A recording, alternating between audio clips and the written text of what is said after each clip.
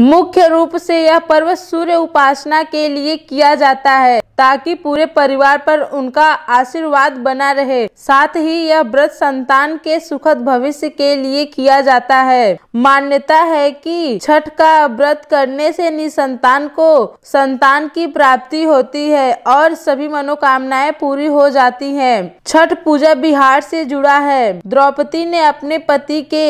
अच्छे स्वास्थ्य और बेहतर जीवन के लिए छठ का व्रत रखा था जब पांडव सारा राजपाट जुए में हार गए थे तब द्रौपदी ने छठ व्रत रखा था इस व्रत से उनकी मनोकामना पूरी हुई थी और पांडवों को सब कुछ वापस मिल गया छठ पूजा धार्मिक और सांस्कृतिक आस्था का लोक पर्व है इसमें सूर्य देव का पूजन कर उन्हें अर्घ दिया जाता है हिंदू धर्म में सूर्य की उपासना का विशेष महत्व है सूर्य देव को जगत की आत्मा कहा जाता है